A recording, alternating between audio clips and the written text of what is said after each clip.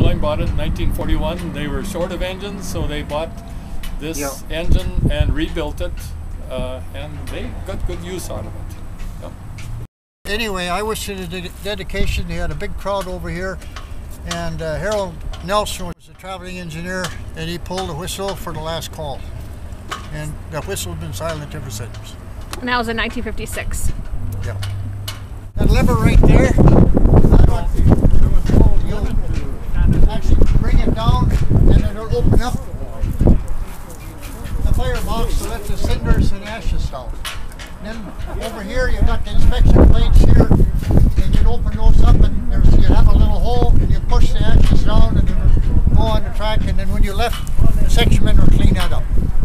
Steam would go through all the way through every passenger car and you, in the winter time especially you'd have to have it open on the back otherwise it would condense and freeze. This line we didn't have radios years ago so the conductor would whistle a couple times and that would create a whistle in the cab and different whistles would give you different messages. You'd have to meet at the next station, uh, slow up at some place or so we had all kinds of communication be like a Morse code and this is that.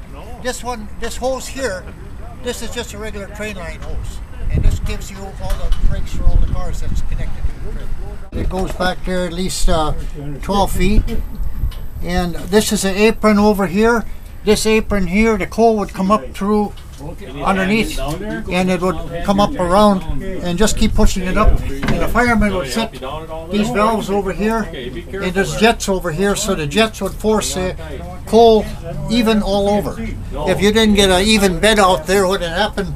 You'd get coal spots and then you wouldn't have an efficient fire so your job was to make sure that that coal got distributed even up here this reservoir would have oil two oil cans you'd have one can of engine oil, one can of uh, valve oil. Here is the controls for the engineer. Basically, this is an automatic brake valve. This controls uh, the train. This is emergency. If you have to stop in a hurry, you can't do any more than do that. You just sit there and it's in God's hands when you're going to stop, okay? Over here, you got different positions. As you see, there's knots here. This applies, this holds, the leakage. This is the engine brakes. If you're just switching with the engine, this is engine brakes, this here. This is the throttle. And uh, the further you bring it back, the faster you're going to go. This is what they call a Johnson bar right here. That goes forward, backwards, and also puts you in uh, in gear. If you if you don't like the fireman, you put it all the way to the, you notch it up all the way to the front, and he's going to have to work with a lot of coal. Otherwise, you center this. You're, the faster you go, the closer to center you are, and you're really efficient. Okay, a good engineer could burn a lot less coal than a poor engineer. Because see, some guys get lazy, and notch it up, and they just leave it there. Okay, this is a Sanders.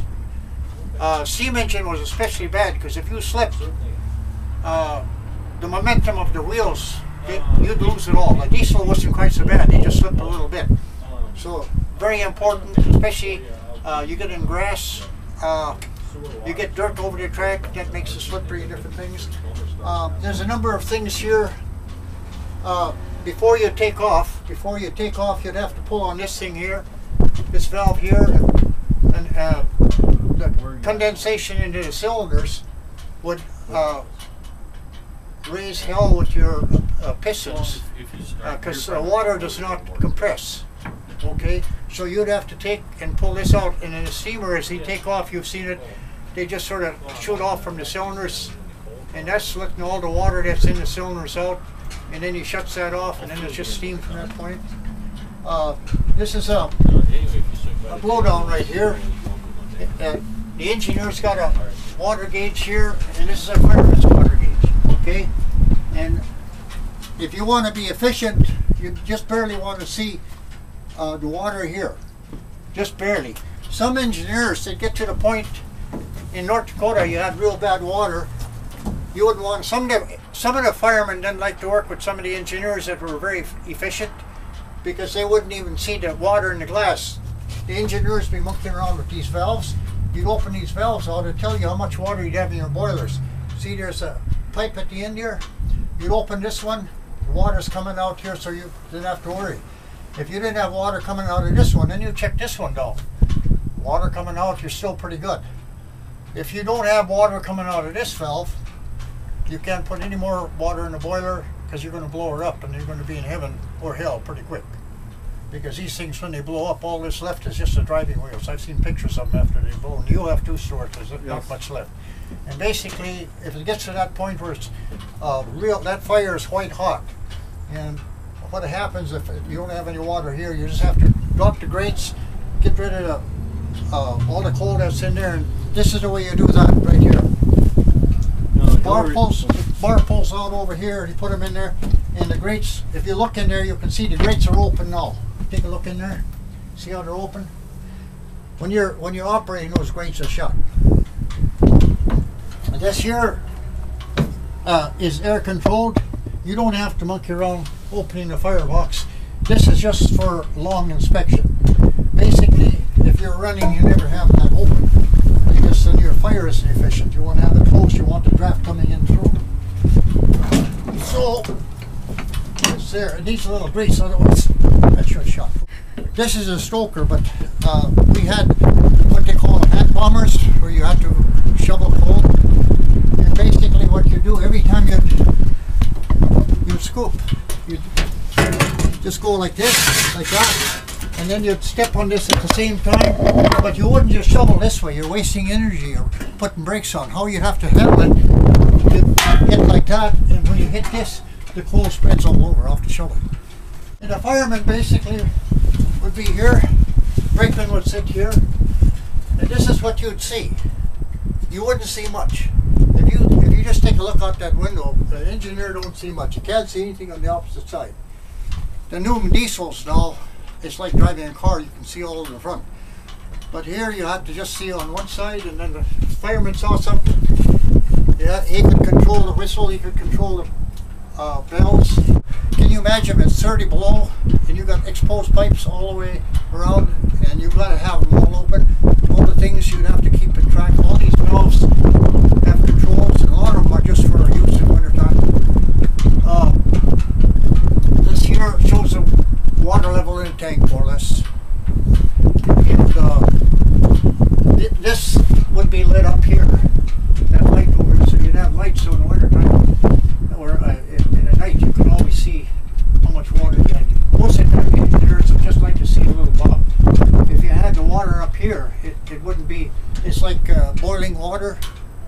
A little water in the kettle, uh, you get more steam for the heat you get. If you got a whole kettle of water, you're not boiling, you don't get as much steam as you would on just a little. So they just wanted to see a little water bob all the time.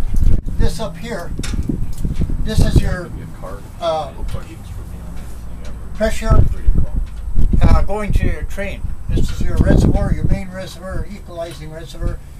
This is more or less for engine brakes. Engine. This is for the. Okay. And uh, legally, you couldn't have more than five pounds of leakage once you set your air up, which would be on the automatic. You set it up, and then you put it in a hold position like that. If you put it in this position over here, this would compensate for the leak. Okay, but if you put it over here, whatever you set, uh, you always have some leakage. In the wintertime, the leakage is probably double what it would be in the summertime because uh, air hoses, they have connections of rubber between the rubber gets stiff and stuff. Uh, it was a big hassle in the wintertime sometimes. In the summertime, you could go at 120 cars and 150 and no problem. In the wintertime, sometimes uh, the longest train you can handle is 60 cars. It's 130 below. brake system on trains, once you pump or uh, charge up the brake system, it's the air in the system that keeps the brakes off. So for him to stop the train, he draws off a few pounds and the brakes set up that much. To put an emergency, you open it all the way and all the air escapes and all the brakes of the train come on. That's the safety feature. If the train breaks in two and you lose all the air, all the brakes go on. Some of the guys that have a pocket full of flax, and if they got uh, a cinder in the eye, they put a flax seed or two, Oh, and they are slippery, and, and they sort of work that. It would help get that cinder out. The cinder would be sharp, and it'd be just feel like fast in your eye. On one trip, I remember I was working in North Dakota, uh, out of Enderlin, North Dakota, and I got one cinder in the eye, so I'm working with one one eyeball, doing all that I'm supposed to do, and all of a sudden I got two cinders in the eye, and I'm legally blind up there. And I'll never, that's awful feeling. I'll never forget that. You, what you do, you just sort of bring your eyelid over and trying to catch that cinder and stuff. And finally got one eye, so I can see it going on, but not a good feeling. One thing about these cabs now, crew comfort, as we were standing, this is the way it normally is during the summer, most of the year, or during the, the warmer season of the year. You get a rainstorm or whatever, you have no protection. It's going to rain right in. Wintertime, all they did was put canvas across from like this, from one corner to the other, that hung down, and another canvas across the top that fastened, and that's all you have to keep the snow out. Or and in the summer, as they say, there was nothing. So if it's a good driving rain, it got wet in here.